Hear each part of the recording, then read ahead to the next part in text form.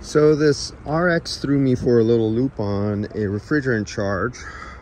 One, the stickers are missing, but luckily I had my sticker under here and I did this one before back on the 10th month of 23 and uh, I recovered it again. They were right back again and I made, I remember making a video of this and the hood was gone and the sticker was missing and I wanted the refrigerant recovery sticker because this vehicle has two options. It has rear air conditioning but when I looked up rear air conditioning inside my after aftermarket, uh, you know, going to a third party reference source, nothing was listed as a rear air conditioning, but there was an option for rear air conditioning refrigerant charge. So I did not know what they meant by rear air conditioning because sometimes I'm not familiar with on this one, the hybrid, did they mean rear air conditioning as this one? And there's an evaporator in here and I couldn't get under the car and see anything. Everything, this is a hybrid model.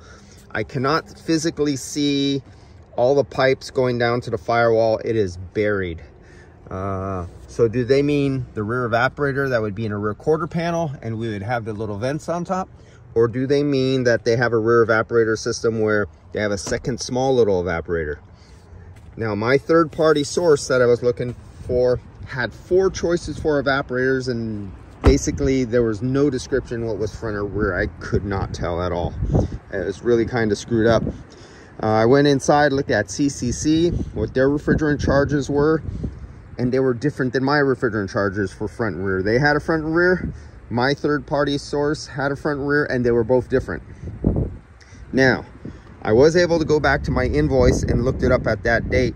And usually I always take pictures of the stickers and you hear my wording, usually.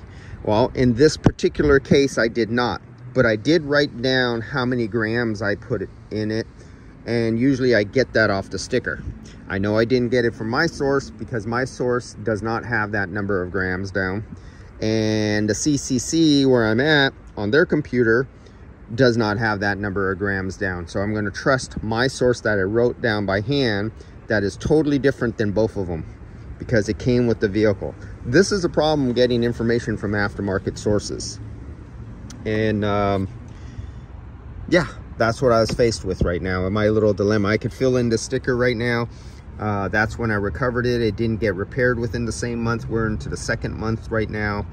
And so I'll change that one to a two put in the date right here and I've known I've done this vehicle twice now and uh, if they're a good customer we'll see them in a couple more months and I'll do them three times. Uh, but they just ordered the sticker because this this shop is really good at ordering stickers. I guess it got missed or misplaced or didn't get delivered yet but they told me and they have it right here. This is every shop should replace all the stickers. And what the shops do is they take pictures under the hood of the exact location where the original stickers were. And this adds retail value to your car because if you go to trade your car in and it's missing all the stickers, immediately, right away, somebody goes, oh, this car was an accident. Everything is, uh, this is probably a messed up car. Devalue, you're gonna get dinged down on your price. And when a shop does not replace your stickers, they're literally stealing money out of your pockets. That, that's, that's hack shop shit. Uh, this is stuff my dad taught me when I was young. We're talking back in the 70s. My dad says, be careful of shops who never replace any stickers or they don't try to match. Like when you put seam sealer on seams, they don't try to match the seam sealer. It's really sloppy. You don't want to go to those kind of shops. Um, this is a good shop. So they got that sticker come. They got all the other stickers. And uh, this was a problem I was having on this one was just the refrigerant charge. And uh, now they got me curious because I was trying to look up the piping diagram and I'm going to do a little Sherlock Holmes research and try to look up the different available piping diagrams that are in my third-party software to see the difference of what they have as rear air conditioning on vehicle because I couldn't find it right now.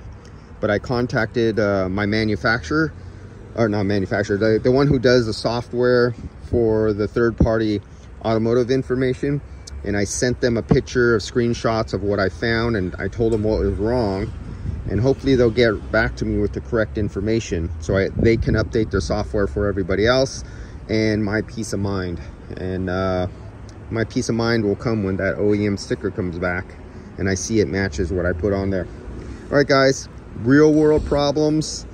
Pick up the phone, take some video and let you know what happens. I looked in two aftermarket sources and both have different specifications for recharging, but at least both of them talk about the front and rear air conditioning. See you guys later. And no, I could not trace, I could not physically trace or see where the pipes go. I went underneath the car, tried to look up, and it's all covered. It's a hybrid, and they have the shields and all that stuff. So, yeah, I'm not, I'm not going to worry about that now.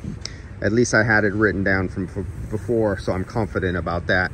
But I'm very upset at myself for not following my procedures and taking a picture of the original sticker that from the first time back on the 10th month of 23 but that was usually due to the hood was removed and already thrown in the trash and I go looking for it. I always ask them, where's the original sticker? I start hunting down the technicians who work on the car and I ask them because I want that original sticker. There's no guessing that goes on here. See you guys.